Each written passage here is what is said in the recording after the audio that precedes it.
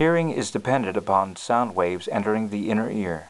Sound waves of different frequencies create different waveforms in the basilar membrane within the cochlea. High frequency sound vibrates the basilar membrane at the base of the cochlea. Medium frequency sound vibrates it in the middle, and low frequency sound vibrates it at the apex.